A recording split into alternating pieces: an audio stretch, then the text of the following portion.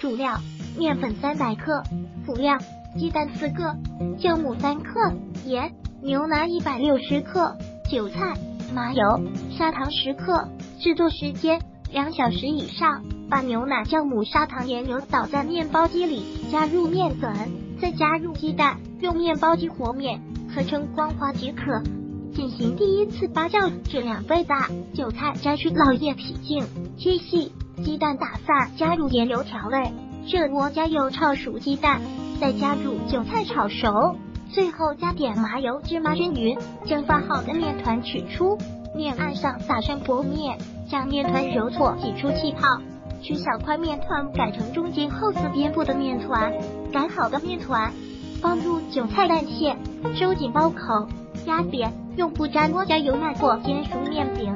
韭菜蛋做馅的发面饼非常美味，松软可口。烹饪技巧：把馅炒熟再卖过筋面饼，这样可以节省不少时间呢。如果喜欢本视频，请分享并订阅本频道。